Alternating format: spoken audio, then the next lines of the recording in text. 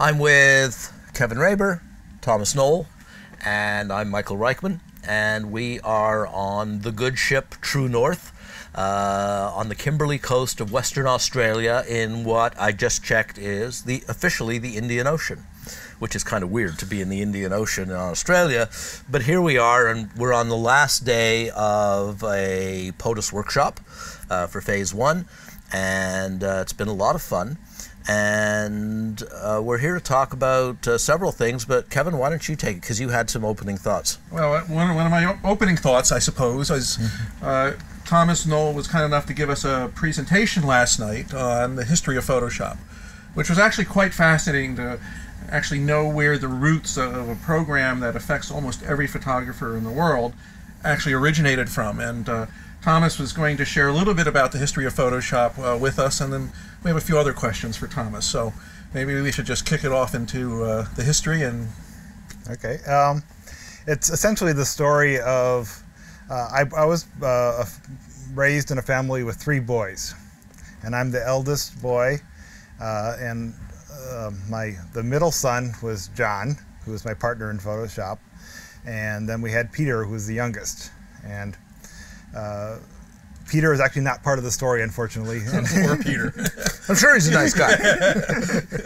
he, he, does some very interesting things with his life, but but uh, not related to Photoshop. John um, sort of figured out what he wanted to do with his life very early on, and uh, that started pr pretty dramatically in uh, I believe 1977 when he was 14 years old, and the movie Star Wars came out, the very first Star Wars. And uh, John saw that movie five or six times that summer. So and he's basically decided that's what he wants to do for a living. So he wanted to. Uh, he wanted to, he wanted to be Luke Skywalker. No, he wanted to make special effects for movies like Star Wars. That's more realistic. Yes, and uh, he sp uh, spent a lot of time in our in our family basement uh, building models of various uh, uh, spaceships and creatures, and mm -hmm. he had mm-hmm. little rubber molds and, and, and fake eyeballs on these, these one-eyed creatures, yeah. and uh, did a at one time he built a, uh, a model house, and he was very interested in sort of filming the explosion of this house. So he, he got some like firecrackers or something to, to blow it up, and he got a 8 millimeter movie camera that he could run at a very high frame rate to slow things down to make it look more in scale. Mm -hmm. But the problem was everywhere he looked on the ground, uh, he was unable to find uh, a place, a view that didn't have bigger objects in the same scene. So you mm-hmm. have a house with a five, 500 foot tree behind it or something like that. So it, it, threw off the scale. So the only place he could figure out that, that he could actually film this explosion was on the roof of our, uh, my, my parents' house. So apparently he, craw he, crawled up there. I was not around at the time, fortunately. Uh, at, at, the very peak of the roof, set up his thing, set up the camera, filmed the explosion. you couldn't see any, any of the uh, uh, objects that would break the illusion of scale. So, mm -hmm. and a career was born. so he was, he was filming special effects explosions already when he was, was, was still in high school, and he decided he wanted to go to USC uh, Film School and uh, you know, sort of managed to talk talk his way into some visual effects studios uh, in the Los Angeles area. Uh, he went out with my dad one time uh, for a. Uh, my dad went to a conference in Los Angeles, and he sort of talked his way, uh, visiting some visual effects studios. And uh, when they were when he was doing the preliminary work on a phone, they had no idea that he was uh, uh, like a junior in high school at the time. They thought he was some college student looking for an internship or something. But he, he, managed to get in there and find out a lot of information and, and, sort of impress the people involved. So he had a lot of encouragement. And uh, he went to film school, uh, you know, taught himself uh, motion control camera technology and actually built some equipment to do that. And uh, rent and actually did some commercial work using that homemade motion control camera that he, that he built. And he used those skills when he graduated to get a job at Industrial Light and Magic uh, as a motion control camera operator. Uh, straight out of college. Was was then and still is Which one is, of the great places. And, and, this is the visual effects house that did the Star Wars movies. Sure. So he, he, he was he was working at the exact same company that he saw made this wonderful movie that inspired him to go into this. And so he uh, has really prospered there. And uh, as of uh, a couple weeks ago, they announced his promotion to chief creative officer, Wow. which is a, sort of like a co-president. Right. So this is a, a really big deal for him. So That's a big deal. wow. he has uh, uh, like actually did exactly what he decided to do. Uh, I'm a little different, or at least I thought I was a little different, but it turns out I I was probably a lot, very similar. When I was a kid, I had a, a hobby of photography. I started out with a rangefinder camera, and, and my dad taught me how to develop film and make make prints in the dark room. And I, you know, learned black and white printing technology and color printing technology a little later.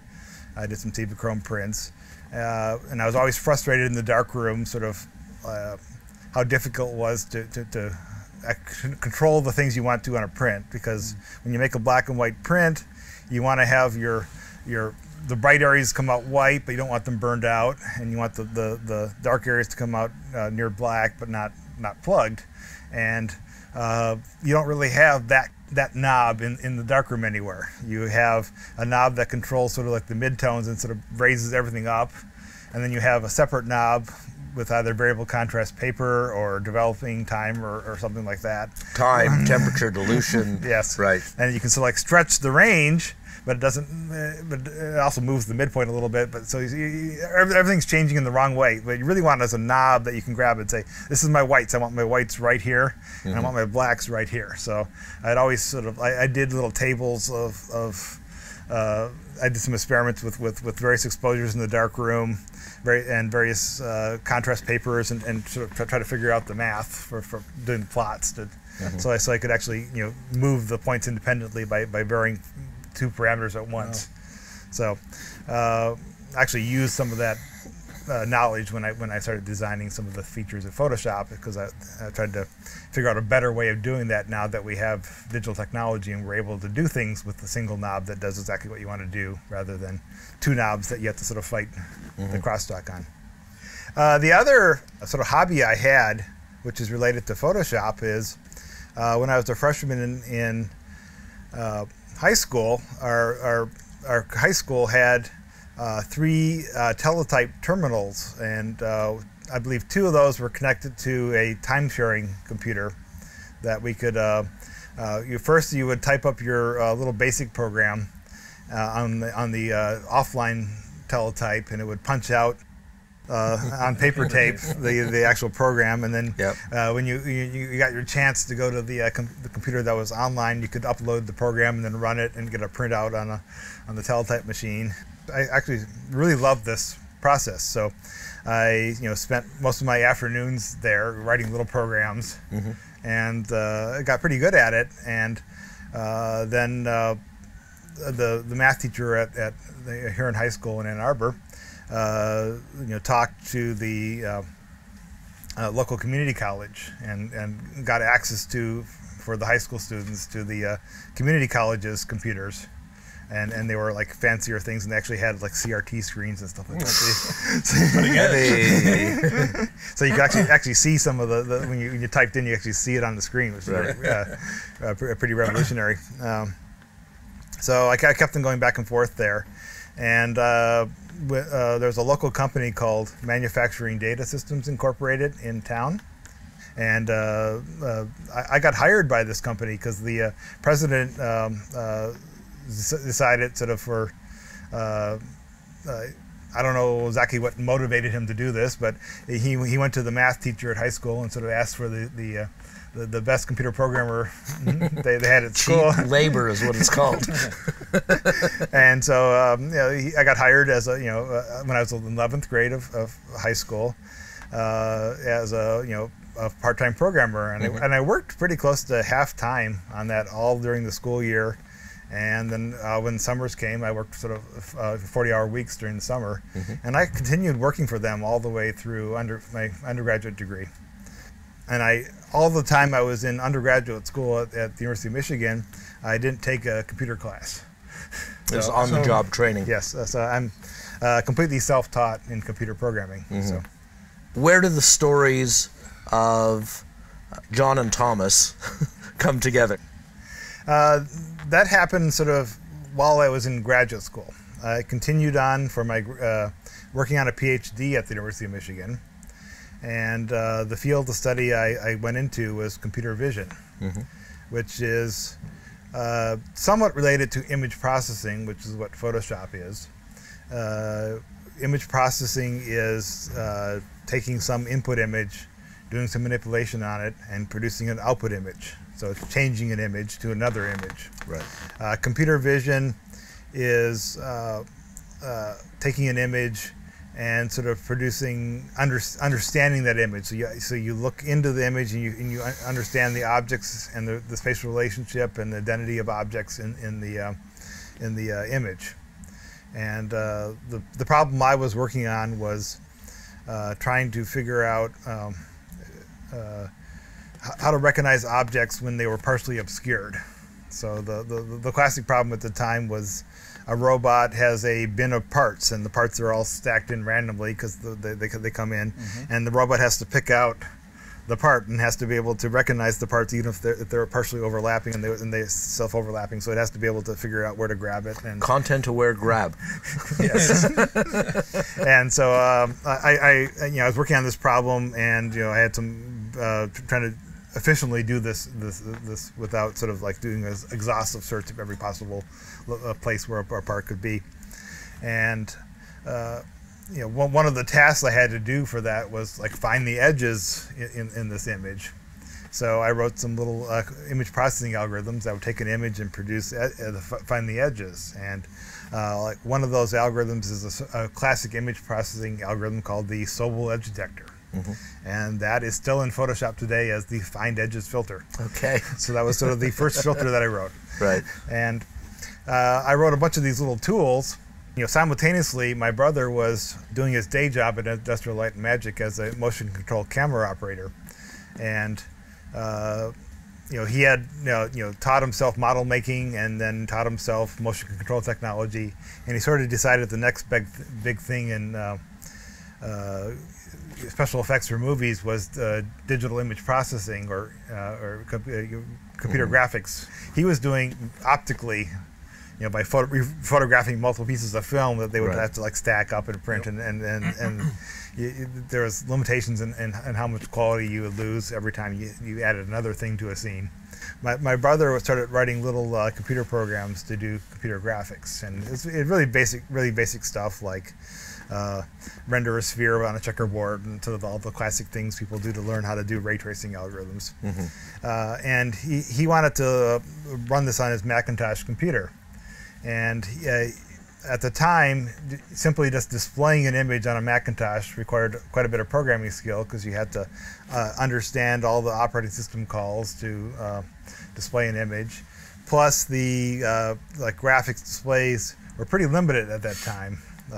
Uh, I, I, owned a Macintosh Plus at the time, which had a black and white display. Mm-hmm. And, and, when I say black and white, I mean black or white. Yes. It, it, it, it didn't have any gray. what, what time frame? This was uh, in 1987. 87. Right. And uh, at that time, this, this was just as the very first, uh, uh like the Macintosh 2 was starting to come out, yep. and uh, uh, which actually had an 8-bit display he, however, he was like trying to render you know color image, 24-bit color images. So uh, you would also have to write special code to to approximate that 24-bit color image on an 8-bit color display. So uh, I had I had all those routines written mm-hmm. as a little tool. So I gave him a copy of all my tools, and uh, he found them very useful and he could like do things, but he sort of asked, it's, it's kind of inconvenient to run these as, as tools. I'd rather just have a little application. So it's a, it's, it's, it's a one thing I can drop mm-hmm. in and then just like uh, directly open the files and show them to people and stuff like that. So I packaged up basically all the tools that I had, like the display routines, uh, the, the, the, the file format uh, translation routines, uh, the uh, like the Sobel edge detector routine, and, and that sort of built it all into one little application. And I called that application display because its primarily purpose was like read a files in, display. Mm-hmm. It could save it in a couple different formats, and it could do really simple manipulation on the image but it was basically well the, the, the the name describes it you weren't able to do that much manipulation no it basically had almost no image processing capabilities right. at the time okay which didn't last long because sure. uh, my brother sort of uh, doesn't take no for an answer. Hey Tom, why can't we do? Like why can't we do this? Why can't we do that? so he would c- always come back and, and, and sort of have a new feature, and uh, uh, often he would make a suggestion, and I say, "Oh, that really doesn't, uh, you know, w- wouldn't work." But I would sort of mull on it for a week, a week or so, and say, "Oh, I could if I do it this way, it'd actually be." It would fit in with everything else, and it would actually be pretty easy, and it would, make a lot of sense, and it would, it would work, work better than you know, his initial proposal, but it would accomplish everything that he that he suggested. So uh, th- that went back and forth a whole lot of times, where, where he he was essentially requesting the functionality, and I was trying to figure out how to uh, provide that functionality in a way that sort of fit uh, with- all the rest. But of the But at this point, you were doing this for him. Was there thought in the back of your mind at this at that point that maybe this was a product? Uh, not at the time, because uh, in, in re- in reality, uh, I was working on a PhD at the University of Michigan, and I had completed most of the research for that PhD. And so I had uh, my experiments done, which were involved, you know, writing, you know, computer code and, and taking images uh, with the cameras we had at the time and stuff like that. So I had uh, done all done all the fun stuff. And what was left was actually writing the uh, uh, this very long paper I have to write. And no, it's not fun stuff. The program Well, was the fun stuff. and It's the paper that was the killer. Yeah, well, at least for me, I, I I really uh, dislike writing uh, papers, ac- academic papers or creative writing or anything like that. That's not my strong point. So I much rather you know procrastinate and sort of you know ri- work on writing this computer program. It became a, a whole lot of fun because the, the, every time I added a feature, it would become yet more powerful. So it'd be even more fun, and, and, and the, you could think of the next thing to add and stuff like that. And, and, and at some point, my brother said, you know, we could sell this thing. You know, this, everybody I showed this to, you know, really loves it and says we should, we should, we should do this. So, uh, you know, he had, he had looked in the, uh, found out the ad rates of Macworld magazine, put a little uh, classified ad in the back, and Right. uh, decided that you know. Uh, uh, we really couldn't didn't have the resources to to, to, to market a, an application because it would require a, a pretty substantial investment to you know start a new company from scratch. Sure. So he asked if he, if I would mind if he would like show it around to some publishers and try to get some interest going. And I said, uh, sure, you know, but you know, it's it's, it's going to be uh, a pretty massive job to you know convert this even partially done application into something that that that'd be a, a commercial quality shippable application. So, and he said, ah, well, you can do it. So, so he, he showed around to a lot of people and. Uh, uh, we we showed it to some companies, and one of the companies we showed to uh, sort of went bankrupt on us before they could actually sign the deal. So, and some of the companies did not want to see the demo because they said they had something similar they're working on internally. They, didn't want to contaminate their engineers.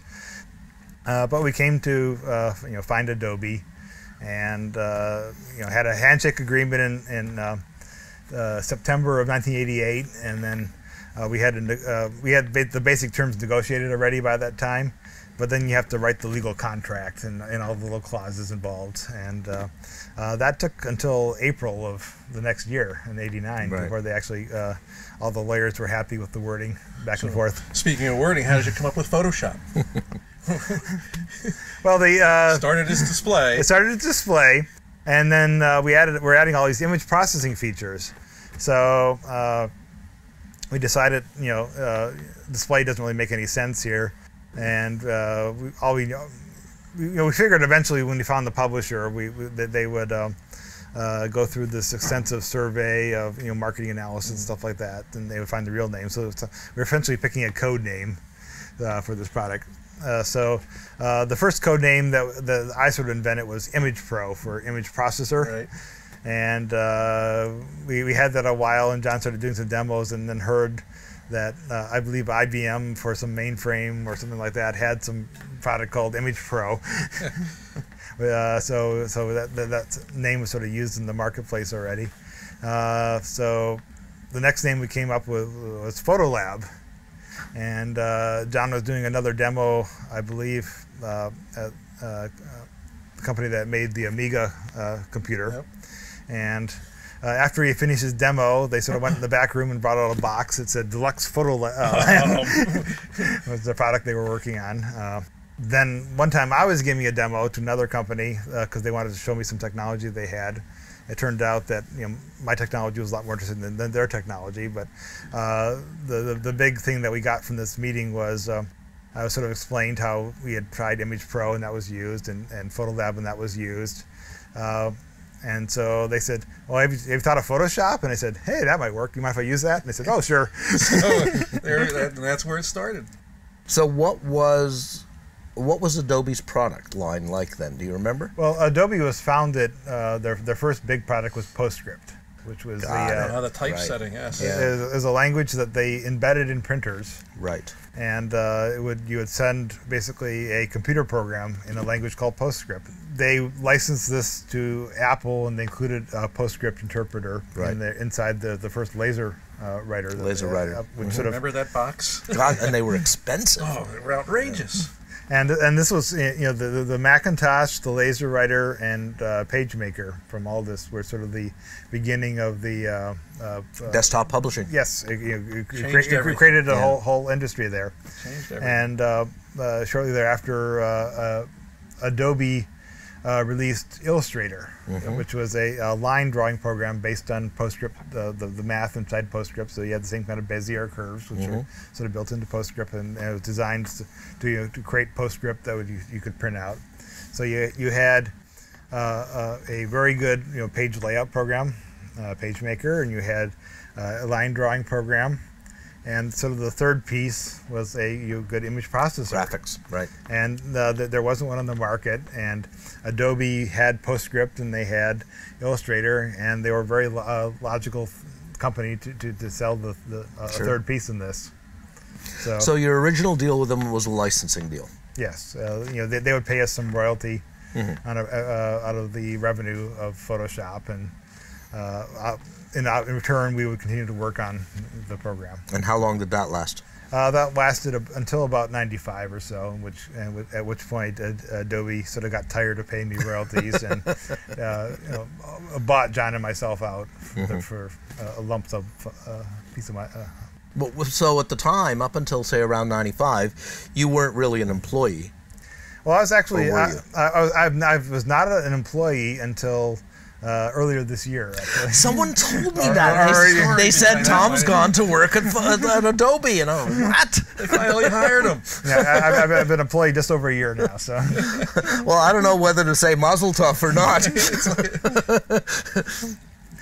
John and I formed this little company called Knoll Software, and we licensed this to Adobe. So I had it all set up that way on my taxes, and uh, I sort of I sort of really enjoyed um, uh, not having to uh, uh, you know report vacation hours and and, and, Right. and, and all the kind of stuff, and all, all, all and to go through performance reviews as part of an employee. So, so I so I sort of just maintained that status as a, a independent contractor.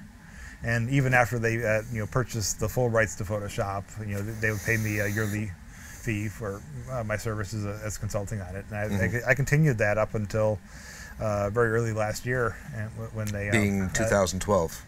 2012. Then I transitioned to actually being a full-time employee. Okay. What? Oh, wait, wait, wait. What motivated that? What motivated that? Uh, uh, well, one, uh, one one of the motivations was health insurance because I had moved to California. Hey, that's a good reason. and I needed to uh, get a, a California health insurance company because I can't keep in- health insurance from Michigan and live in Right. California as my, my residency changed. So Right.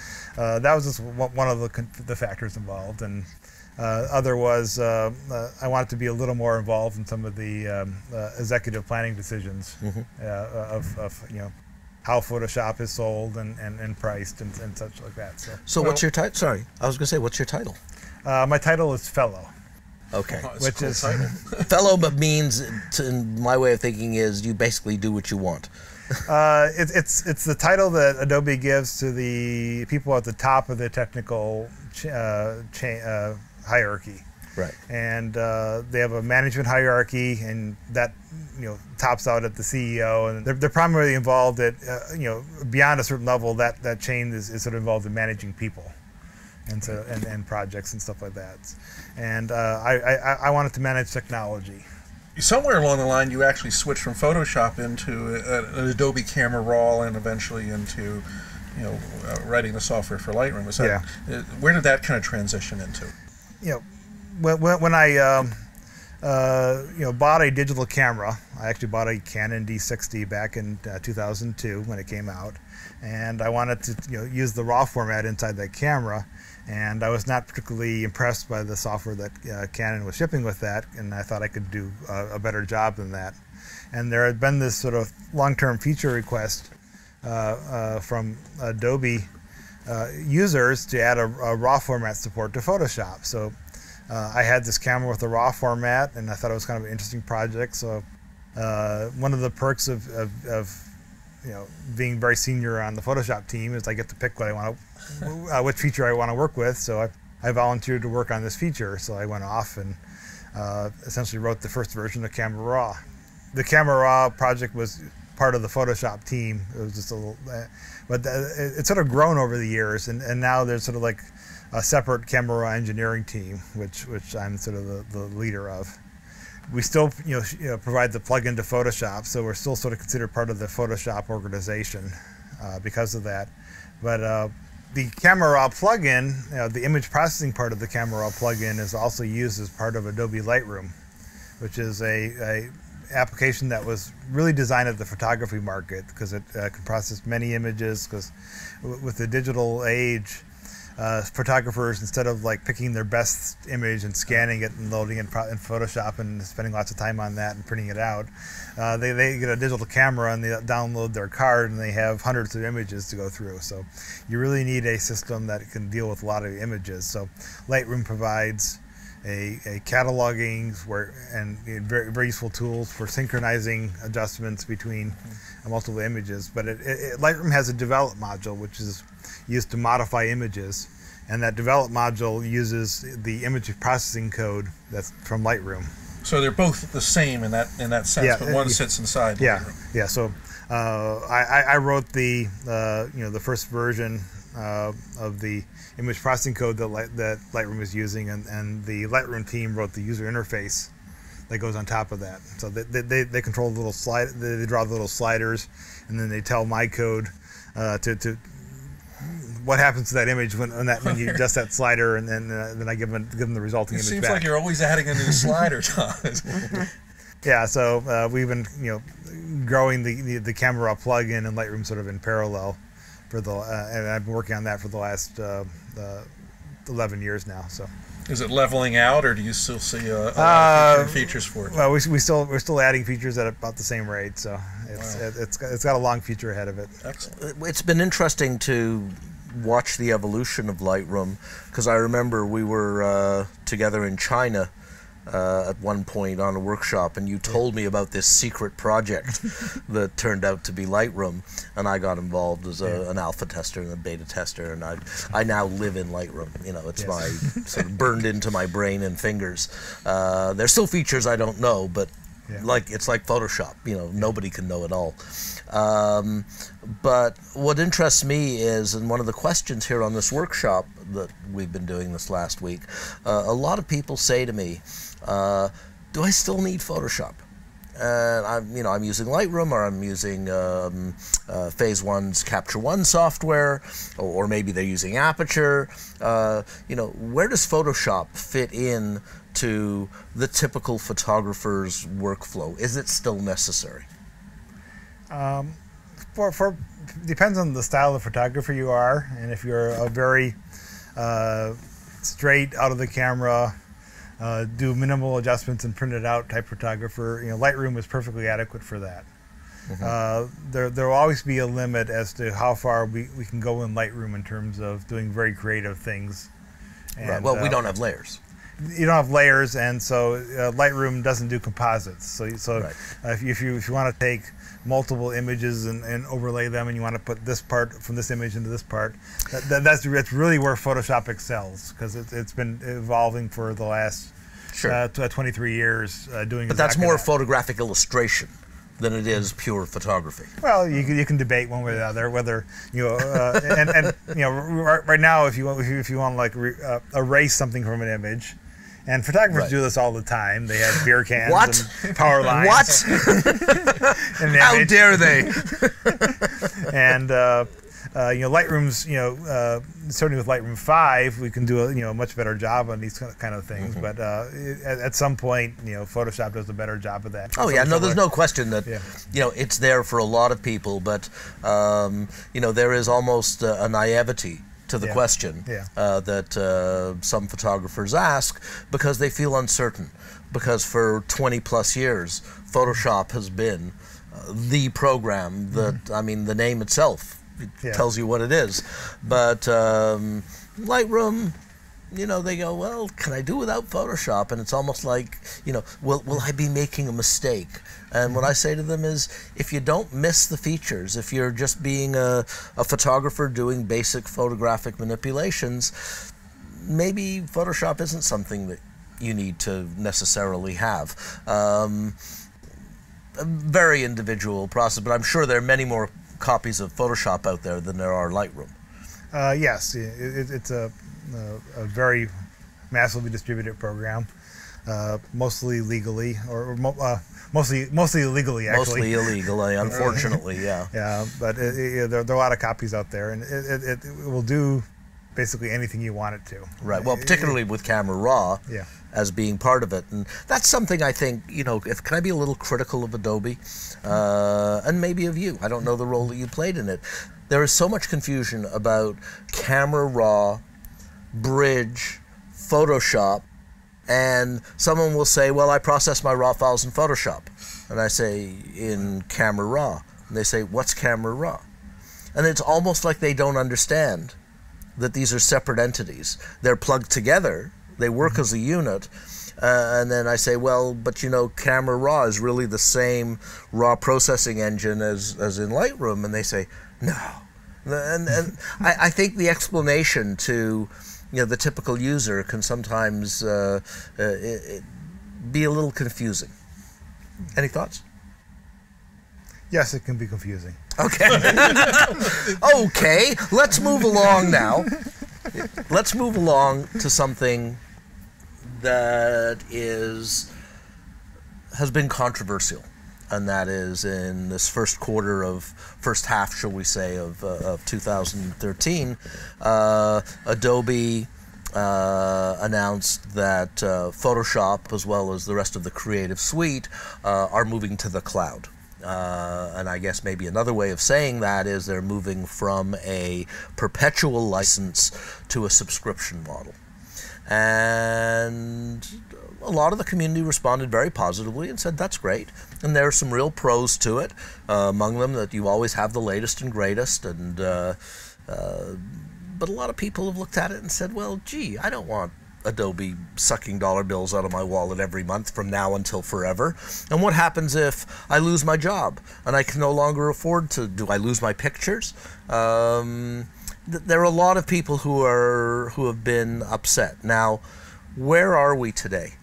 What where where do we stand? Where do photographers stand in terms of the whole issue of perpetual license versus uh, the subscription model?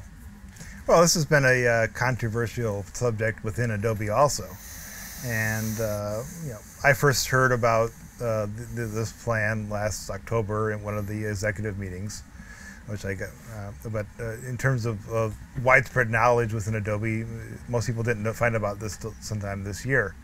And uh, the exact pricing of all, all the arrangements was not revealed to us until fairly recently in terms of stuff. And uh, I expressed some of my concerns that uh, for the photography segment in particular, you know, uh, the offerings that Adobe initially came out with on, on, on the Creative Cloud uh, were sort of not sort of targeted at them.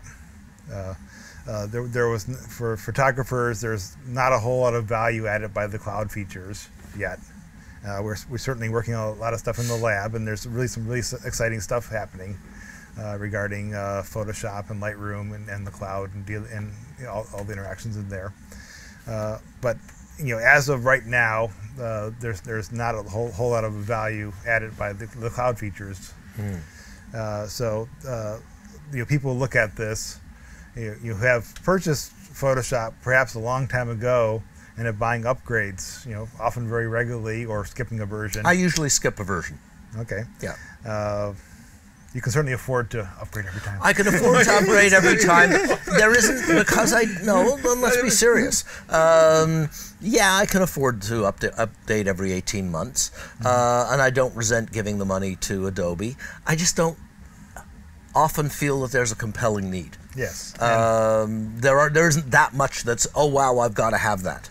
Uh, usually by 36 months, then it's okay. I'm falling behind the curve, and then I'll go out and, uh, yeah, and do it the seems upgrade. what they try to do is release something with some magic button. You know, like I think uh, CS6 was the content aware, and you know, to me that was worth the upgrade alone. Mm-hmm. But um, you know, some of us have to justify exactly what these uh, new features are and whether they really relate to the work we do on a daily basis. So, mm-hmm. yeah, um, and, and, this is this has sort of been the uh, fundamental problem with the uh, sell a perpetual license and then sell upgrades model is that uh, we're sort of driven to do whiz bang features that demo well. Mm-hmm. And so the engineers are, are, sort of pressured by marketing. Well, we have, we, we have this release coming up and we need to you know sell the upgrades for this right. release because we need to actually make revenue because we're a, a, public corporation and we have shareholders and we have a duty to those shareholders to mm-hmm. you know to make the, the a profit. Yeah. Uh, so. Uh, we, we and the way we make a we made a profit in the past was by encouraging people to buy upgrades. Right.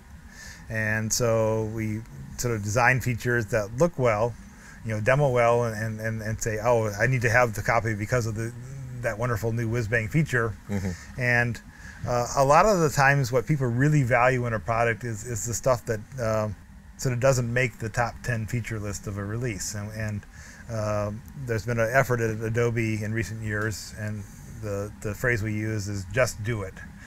Uh, JDIs, where we uh, sort of respond to a feature request that's been long pending. It's not, not like uh, you know you know changing uh, uh, exactly how some often used command works in, in a way that actually you know makes it a little easier to use or adding a, sh- a shortcut uh, to, to, some complicated operation that makes it makes it uh, faster to use and, sure. and, and so if you know the emphasis is now on selling a subscription so uh, there's no big buy-in cost anymore right. and you sort of always have the, the uh, current uh, release so uh, the software will go basically go out and download updates as needed. Yeah, yeah. Well, the user has its control. Yeah, so, right. So will there be the whiz bang kind of things coming out? Oh, you, uh, you, know, you know, obviously we still have to do the whiz bang things, but uh, we'll pro- probably be more emphasis on doing things that actually.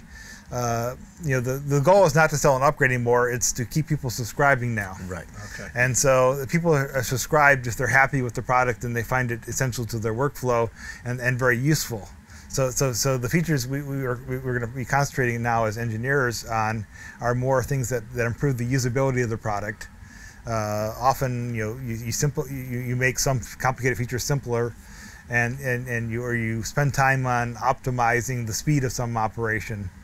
So uh, you know, it works faster, and so people get their work done faster, and they're happier in the end, and then they're less frustrated. Uh, so the, sort of the emphasis is more aligned with, with, with, keeping users happy that are using the product, which is a good thing for the users because we're not concentrating on doing things that uh, may show well in a demo, but but not be that really useful in reality. Because uh, now our users are all um, actually using the real product, and, and, and, and they're, they're finding out for themselves whether it's useful in their workflow. So, but you know, you're saying keep the users happy, but this announcement has made a lot of users unhappy. Yes, uh, and, and there, there, there, have been a number of, of reasons why they're unhappy. And uh, probably the biggest uh, uh reason is uh, you know, the, the people who use a, a, whole lot of Adobe products, you know, the, the, the that have been purchasers of the uh, Creative Suite in the past, are actually generally pretty happy with the announcement because the, the pricing is uh, pretty reasonable on a month-to-month basis for buying the you know all the Adobe apps, right. and, and there's a lot of Adobe apps, and and I use a, three or four of them uh, regularly. Uh, it's actually a pretty good bargain. Uh, it's uh, less of a good deal for the photography community, which basically only use Photoshop or maybe Photoshop and Lightroom. And uh, if, if you're subscribing on to, only to a single single application uh, in the system, uh, the you know the pricing is you know 40% or so of the uh, price of doing you know all the Adobe apps. And if you, uh, you know, the, the cost of that worked out to be substantially more than uh, uh, you know buying upgrades every time a, version came out. So there's probably no question that the, the cloud idea is a great idea, but Well, there, there, there are other objections to it, but uh, uh, Yeah. in, in terms of you know, you know being, providing you know, services to our, to our users, uh, it, it gives us the engineers a lot of freedom, and we can also concent- we can, we can also take advantage of the cloud because that's sort of where the future is anyway. So uh, we can start adding more and more cloud-based features. You know, real cloud, you know, syncing between computers. Uh, uh, integration with mobile devices and stuff like that that, that, that are really not possible with, without a uh, uh, you know, I think some of that's uh, pretty- online component. pretty exciting. But if you're a photographer and don't want Illustrator, or you don't want, you know, um, some of the other uh, suites that are in there, what's what is the the, the or what kind of solutions can we look at, or what- do we just say we're going with it or we're not? You know, there there have been meetings that I've been involved in amongst the uh, uh, higher ups at Adobe uh, to figure out a way to uh, sort of address a lot of the, the photography market's concerns, and uh, we, we realized that you know selling uh, uh, you know perpetual updates to Lightroom and uh, subscription update to Photoshop, and sort of combining all that, you know, the math doesn't work out right now. Correct. So we're, we're, we're looking at a sort of dramatically different pricing structure for uh, some bundle or some combination of Lightroom and Photoshop that uh, could be a, a lot more attractive to photography users. A, a subscription uh, system means that uh, you don't have to wait for a whole upgrade cycle before we can get a feature out. If a Right. feature is ready from the engineering level, we can ship it right away. And the Camera Raw team is, you know, has features in, in the uh, pipeline for you know, version 8.1 and 8.2, and we're going to be shipping, you know, real functional upgrades That's great. all through the cycle. But there is one constituency, very small one, that is not going to be happy about this. Well, yeah, it's, You know who that is? Product book writers and video training producers because where where's the demarcation? you know, you no longer we're no longer going to have fixed models on a fixed schedule and what do we do? Well, you probably do the same thing that Adobe's doing, and you you uh, you know your training modules. You know, as a new feature comes out, you need to like update that section of the video. Right. Okay, so we're going to move to the subscription model. Yes. what about books?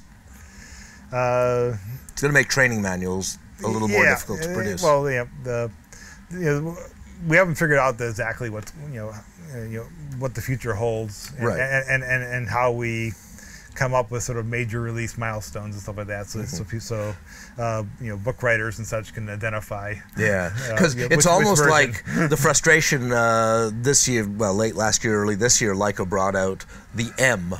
It's no longer M8, M9, M10. It's the M. And as a writer, writing about this, it makes me crazy. Because what M am I talking about? And when Mm-hmm. They bring out the next one, is it also going to be the M? Mm-hmm. They say yes. Well, look, Porsche 911. It's a 911, whether it's a 1982 911 or a Mm-hmm. 2013 911. I go, no, it's not the same. Yeah, you're not going to be identifying, you know, version numbers per se. Uh, well, you know, each of the apps has, has does have a version number, so so Mm-hmm. you, uh, you know, but but it's a good thing because it'll just be Photoshop. yes. That's it. It's Photoshop. No more version numbers. And because everyone theoretically, well, I don't know whether you might do voted version numbers, but theoretically everyone will be up to the latest. Yes, and, and So that's a good thing. yeah. you said something uh, a little while ago in regards to uh, you know trying to address the photography segment market, and it, it sounds very much like you've been an advocate for this market. Um, uh, you, me, and Michael are pretty much the same thing. We're enthusiasts, uh, advanced amateurs, or whatever title you want to stamp on us. Um, so you've come up with a concept to put what Lightroom and Photoshop some way into a bundle at a, at a, a different subscription price. Yes, and and sort of, yeah, Lightroom is Ado- Adobe's you know best photography centric uh, uh, product, and we really, if you're a photographer and you're not using Lightroom, you're really missing out on, on a lot of the value that Adobe provides. Uh, uh, photographers tend to use uh, Photoshop on a minority of their images, but, but it's uh, essential for those images. So they, they, they, they really, uh, Lightroom and Photoshop uh, go together really well. And so you do the majority of your work what you can in Lightroom, and then you do your detail, you know, unusual shot, uh, composite type operations in Photoshop. So the combination of, of Lightroom and Photoshop is sort of the, we believe, the uh, perfect uh, photography solution. And uh, you know, there's a lot of debate within uh, Adobe management as to whether it makes sense to do a special deal for photographers uh, to combine these two products into a, a, a, single subscription at a very attractive price. That, if you do the math, actually works out to be cheaper than keeping both of those updated in the past actually a very exciting product because uh, it looks like we can price this to the point where we can attract a whole lot of new users into the Photoshop community and the Lightroom community and have a really uh, exciting time coming. So no, for, that's great. For like all that. the noise on the forums and everything, it sounds like Adobe, you know, put their ear to the rail and listen very yeah. well, well there. Yeah. Yeah, that's really good yeah, to hear. Yeah, it's nice to hear from somebody inside Adobe too. Thank you, thank you for standing up for all of us, Thomas. Okay. Yeah, and thank you for this opportunity to uh, hear a little bit about history of uh, you and John, and you know where Photoshop came from. For a lot of people, uh, Adobe and Photoshop are just this anonymous uh, corporate entity and, and program, and uh, I think it's fun to know they're yeah. real people with yeah. real stories. A lot of heart know. and soul in this product. Yeah, and, and, and, for the uh, Camera Raw team, uh, sort of a uh, there are now four engineers on it, and uh, a prerequisite of hiring anybody is they actually have to have a love of photography. So, uh, wow, that's we, great. And we, we eat our own dog food as. well, you know, we've had a hell of a good time uh, photographing together for the last week, and an amazing area. Um, yes. So yeah. it's been all real good, and it's been great sitting down with you. Thank Thanks, you. Fascinating. Thank you.